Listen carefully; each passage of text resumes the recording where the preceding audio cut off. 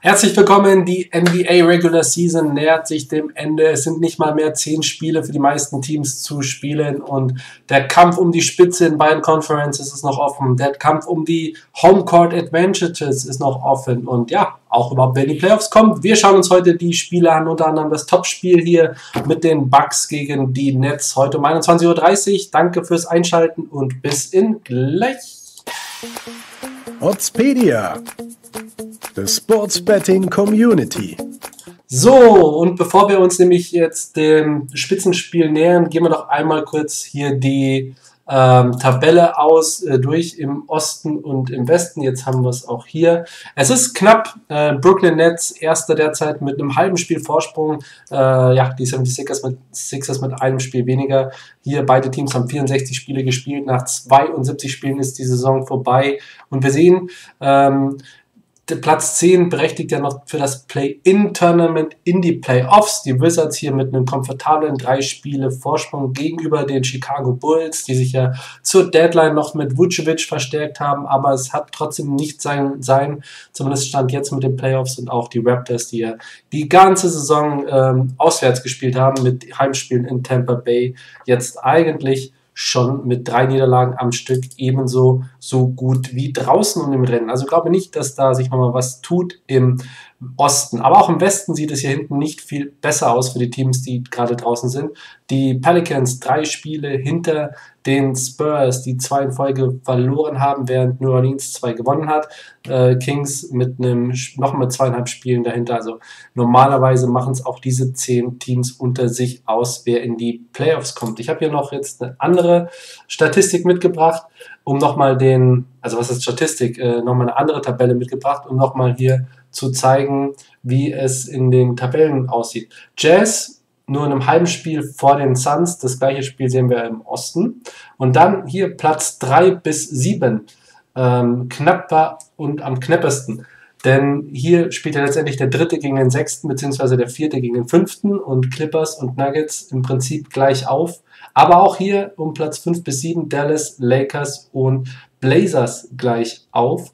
Wobei Dallas jetzt mit drei Siegen in Folge, genauso wie Portland drei Siege in Folge, so ein kleines Momentum hat. Im Osten ist Platz 1 und 2, äh, wie gesagt, noch auszuspielen. Die Bucks mit Minimalchancen. Äh, dann glaube nicht, dass sich da noch was tun wird. Aber dann auf Platz 4 bis 7 trennt im Prinzip nur die Niederlagen. Also Knicks, Hawks 35 Siege, Celtics 34, jetzt auch kürzlich erst mit einem Wahnsinns Spiel gegen die Spurs, Overtime-Sieg, 60 Punkte Jason Tatum und auch die Heat sind äh, noch im Rennen dabei. Also, es ist super spannend und dieses Spiel könnte maßgeblich entscheiden, ob die Nets die Spitzenposition behalten oder nicht. Wir haben auf den Injury Report seitens der Nets natürlich den Ausfall von James Harden. Ich glaube nicht, dass wir ihn in der Regular Season nochmal sehen werden. Und bei den Bucks ist Antetokounmpo eine Game Time Decision. Dementsprechend könnte man sagen, die Quote auf Nets hat Value, falls Antetokounmpo nicht wirklich aufläuft. Aber wer den kennt, der weiß, dass er bei solchen Spielen nicht geschont werden möchte. Wir haben hier zwei super knappe Spiele schon gehabt, beziehungsweise eins in dieser äh, Saison. Ähm, muss ich nochmal kurz rechnen, 4. August, das war aber auch dann letztes Jahr, okay. Ähm, 19. Januar 125 zu 123 ging das Spiel für die Nets aus. Die Quoten jetzt, weil Milwaukee halt auch daheim spielt, natürlich besser für Milwaukee. Und schauen wir mal, was es hier bei den Lions gibt. Ist natürlich sehr, sehr ausgeglichen. Ich persönlich habe es halt weiterhin so, ich möchte nicht, dass Brooklyn erster wird. Ich möchte es einfach nicht. Und deshalb hoffe ich auf einen Sieg von Milwaukee und werde da heute auch safe am Fernseher mitfiebern und minus ähm, äh, zwei so die Line. Aber ehrlich gesagt, wer auf Milwaukee geht, dem reicht die äh, einfache Line und es gibt ja schon eine sehr gute Quote. Over-Under ist natürlich auch verrückt. Da musst du eigentlich Under gehen. Under 240 Punkte. Also das ist schon, Entschuldigung, echt krank. Ähm, wer hier nicht, nee, das, Also das ist safe ein Under. Egal was passiert, du gehst nicht bei so einem Spiel, zwei Spitzenmannschaften, die beide gewinnen wollen, bei denen vielleicht der Antetokounmpo ausfällt, vielleicht ähm, das auch nochmal äh, äh, das Scoring verschlechtern könnte. Da gehst du ganz klar auf ein Under 240 beziehungsweise Under 244 für die Official Line. Ich kann mir nicht vorstellen, dass die beide da Vollgas geben und mein, wenn du hier die letzten Spiele anschaust, Milwaukee hier 137, 143, 109, äh, 200 natürlich. Also, ja, das, das, da nehmen wir auf jeden Fall safe das Under mit und den reinen Sieg auf die Bucks für die Quote von 1,8. Weiter geht's mit den Boston Celtics gegen die ähm, Portland Trailblazers. Beide Teams sind in den Positionskämpfen in den letzten Sonntagsspielen hat uns Boston in der Regel immer enttäuscht. Dieses, die, die beiden Teams haben schon einmal aufeinander getroffen. Auch hier gab es nur einen sehr, sehr knappen Sieg, jetzt in dem Fall für die Celtics, die jetzt zwei Spiele gegen andere, ähm, ich sag mal, Playoff-Contender gewonnen haben. Die Blazers hatten da schon schwierigere Gegner mit den Nets, Grizzlies, Pacers auch ein bisschen. Also es sind drei wichtige Siege und hier, wir erinnern uns vielleicht noch, letzte Woche war das äh, katastrophale Spiel von den Hornets, äh, beziehungsweise von den Celtics gegen die Hornets. Also bin bei Boston weiterhin nicht so richtig überzeugt, was man darauf wetten sollte. In dem Fall würde ich, weil Damian Lillard äh, spielt, eher auf Blazers plus Handicap gehen. Dann kriegen wir auch nur eine 2 oder 3 für eine gute Quote. Könnte ein enges Spiel werden, aber Boston eigentlich derzeit nicht tippbar. Wo die Blazers mitspielen, ist auch immer die Punkteline hoch. Wir haben hier under 232 für eine gute Quote, würde ich auch einfach mitnehmen hier das unter. Bei den Hornets gegen Heat haben wir mitbekommen, die Heat mit Positionsspiel, die Hornets mit Verletzungen, aber auch mit einigen ähm, guten Spielen und Siegen am 27. März, da waren sie noch, glaube ich, im Vollbesitz ihrer Kräfte, den direkten Vergleich äh, gewonnen gegen die Heat, denn das erste Spiel haben sie auch schon gewonnen.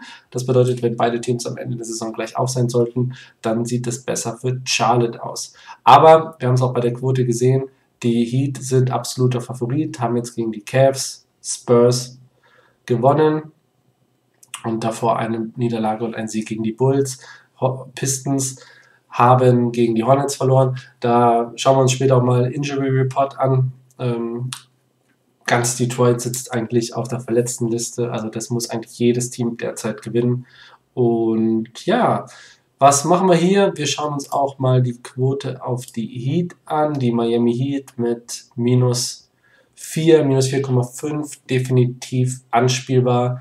Ähm, muss natürlich jeder selber entscheiden, aber ähm, ich glaube, die haben noch die Chancen, unter die Top 6 zu kommen, was ja bedeutet, dass du nicht bei dem In-Game, in, in Play-In-Tournament dabei sein musst. Deshalb Sieg Heat.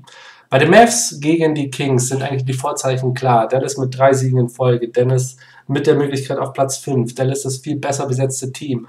Aber die Kings sind sowas äh, wie der Angstgegner. Dallas verliert ganz gerne, so auch in dieser Saison. Bisher beide Spiele verloren, beide sogar relativ deutlich mit 7 bzw. 14 Punkten. Und ähm, bei Dallas wird Porzingis wahrscheinlich noch weiter äh, ausfallen. Dafür Luka Doncic mit einem Wahnsinnsspiel jetzt erst heute Nacht, also gestern quasi, äh, 125 zu 124 gegen ein gutes Wizards-Team gewonnen.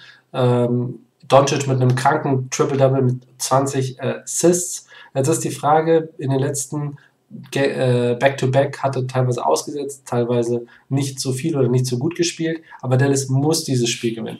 Sacramento äh, mit nur noch ganz, ganz geringen Chancen auf die Playoff-Plätze.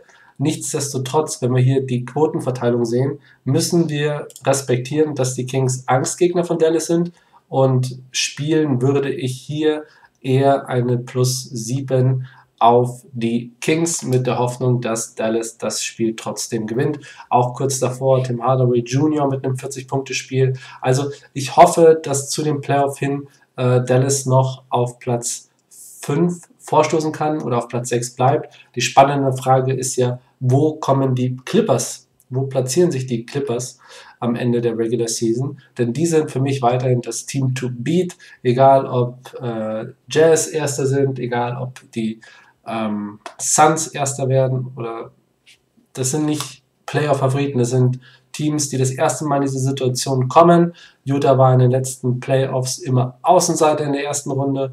Ähm, sie waren auch, ja, wenn sie dann sind gegen die Rockets, äh, haben sich ja öfter mal durchsetzen können. Letztes Jahr gegen die Nuggets gescheitert. Also sie sind ein gutes Team mit Playoff-Erfahrung, aber sie waren noch nie Tabellenerster. Das heißt, wenn man gegen den dann im Semifinal spielen würde, dann glaube ich, ist das eine 50-50-Geschichte. Das gleiche bei den Suns, die hat noch gar keine Playoff-Erfahrung. Ich glaube, Devin Booker ist noch gar nicht in die Playoffs gekommen. Jetzt mit Chris Paul ähm, ist das natürlich ein starkes Guard-Duo, das auch für Furore sorgen könnte. Aber aus Sicht der Lakers, aus Sicht der Mavericks, aus Sicht der Blazers, da möchte ich lieber nicht gegen die Clippers, sondern eben gegen Suns, Jazz oder die geschwächten Nuggets, die derzeit Dritter sind, spielen. Da ist ja Jamal Murray leider mit einer Verletzung draußen.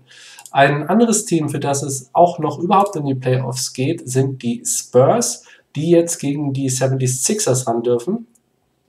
Beide Teams äh, zuletzt mit drei Siegen aus fünf Spielen, wobei San Antonio hier sehr, sehr viel Pech hatte im Overtime-Loss gegen die Celtics. Jetzt spielen sie gegen zwei Top-Mannschaften. Wir haben es davor gesehen, sie haben nur drei Siege Vorsprung gegenüber den Pelicans. Also sie sollten eins dieser zwei gewinnen, damit sie zumindest noch weiter den Abstand für die letzten fünf, sechs Spiele haben. Spurs äh, sind der erste Gegner in diesem Doubleheader, Back-to-Back-Spiel ist ja nicht so gut, wenn du Embiid im Team hast und mit Simmons auch weiterhin einen kranken Spieler. Also das ist ein Must-Win, wenn Philadelphia noch Erster werden möchte. Die Quoten gefährlich. Da würde ich auch eher tendieren ähm, auf plus. Da, da, da haben wir es. Hier plus 6, plus 7 auf die Spurs, denn äh, ist ein gutes Team. Nichtsdestotrotz sind die 76ers Favorit, aber ich erwarte hier auch eine enge Kiste und hoffe, dass Philadelphia gewinnt. Milwaukee auch, denn dann wären die 76ers wieder vor den Nets. Lakers gegen Raptors. Eins aus fünf haben diese beiden Teams geholt. Ein Sieg aus oder zwei Siege aus zehn Spielen sozusagen. Die beiden Meister der letzten beiden Jahre. Für die Raptors wird es nichts mehr mit den Playoffs. Sieht zumindest sehr, sehr schlecht aus. Und für die Lakers wird es knapp, ob sie noch Platz 5 oder sechs halten können. Ich habe mal hier einen Injury Report mitgebracht ne, von CBS Sports. Wo sind die LA Lakers? Wahrscheinlich unter L wie Los Angeles. Also wir sehen hier Game Time Decisions. LeBron James, Dennis Schröder, Alex Caruso, relativ egal in Anführungsstrichen, ist schon gut, aber ja, ohne den können sie auch gewinnen. Kusma von der Bank wichtig. Caldwell Pope spielt eine starke Saison. Gasol, relativ egal. Davis, Game Time Position. Also das ist schon, ähm, ja, könnte eine kuriose Lakers-Truppe auflaufen. Und bei ähm, Toronto glaubt man noch, dass Kyle Lowry und Gary Trent Jr. Äh, eventuell ausfallen werden. Und das sind ja dann auch gleich mal, keine Ahnung, 30, 25 Punkte, die dir mindestens fehlen. Es ist also eine schwierige Sache hier zu tippen mit so vielen Ausfällen. Ähm, die Raptors plus 8 könnte mega Value haben, wenn dann rauskommt, dass James und Davis vielleicht beide dann nicht auflaufen werden. Aber so richtig glaube ich daran nicht. Ich glaube, dass die jetzt auch wissen, was die Stunde geschlagen haben und äh, dass die heute spielen werden. Denn selbst wenn sie nur 50, 50 Prozent ihrer normalen Zeit hier auflaufen, sollte das für einen Sieg gegen die Raptors reichen. Dann kann hier minus 5 schon interessant sein. Alles, was drüber ist, minus 7, minus 8, minus 9, wäre mir zu riskant. Bei den Houston Rockets, auch hier würde ich mal im Spiel gegen die Knicks äh, davon ausgehen, dass das Safe die New York Knicks gewinnen, die ja 9 von 10 der letzten Spiele gewonnen haben. Minus 9, minus 10 ist natürlich sehr, sehr großer Abstand. Schauen wir uns mal die Over-Under auch an. Die sind bei dem Spiel deutlich niedriger als bei denen, die wir vorher gesehen haben. Da könnte man spekulieren, dass trotzdem vielleicht wenig Defense gespielt hat. Wird, ich zeige euch aber trotzdem mal auch hier den Injury Report von Houston. Das ist ja ähnlich wie bei Detroit beispielsweise. Ich glaube, die freuen sich jetzt über jede einzelne Niederlage, denn das hilft dann vielleicht auch mehr bei den Playoff-Odds zumindest. Bradley, House Jr., Sterling Brown, DJ Augustin, John Wall, Eric Gordon, Dante Exum und gut, ähm, Waba äh, kenne ich jetzt ehrlich gesagt nicht so. Äh, äh, ja. Das ist schon ein halbwegs gutes Team, muss man sagen, was da bei Houston ausfällt. Und deshalb sollte es ein leichtes sein für New York, das zu gewinnen, die ja so stark und so diszipliniert spielen und nur auf Mitchell Robinson aus, äh, verzichten müssen. Das bedeutet, man kann New York eigentlich perfekt in Kombis mit einbauen. Man könnte, um vielleicht ein bisschen, wer, wer zu Sorge hat, dass sie nicht mit 10 Punkte Abstand gewinnen, man könnte sich überlegen, für eine kleinere Kombi minus 4, minus 5 mit aufzunehmen. Aber das würde ich auf jeden Fall machen. Ich kann mir nicht vorstellen, dass hier die Kollegen aus Houston nur den Hauch einer Chance haben. Und das gleiche auch beim Spiel ähm, der Suns gegen die Thunder. Hier wird es kein anderes Ergebnis geben als Sieg Suns. Deshalb ist die Quote von 1,07 oder 0,8 jetzt gerade geswitcht. Relativ äh, ja, unspielbar. In der NBA eine minus 15 äh, würde ich auch nie spielen, deshalb äh, hier eher plus 15 Thunder, haben auch noch Heimspiel, hat definitiv die äh, höhere Wahrscheinlichkeit zu äh, durchzukommen. Und damit kommen wir durch äh, oder sind wir durch mit den heutigen Spielen. Hier, was ich am Anfang gesagt habe, auch nochmal der Injury Report, finde ich nämlich krass, wie viele Leute auch bei Detroit ausfallen. Alle, Sp alle Teams eigentlich mit äh, ja, momentan sehr, sehr vielen Blessuren oder im absoluten Tanking-Modus. Ich wünsche euch einen wunderschönen Sonntag. Das war jetzt das letzte NBA Regular Season Video. Wir sehen uns danach, wenn die Playoffs bzw. die Play-In-Tournaments beginnen. Und bis dahin wünsche ich euch eine schöne NBA-Zeit. Danke fürs Einschalten. Danke für die ganze Saison, für eure lieben äh, Daumen hoch, Kommentare. Und dann sehen wir uns zu den Playoffs. Bis dahin. Oddspedia, the sports betting community.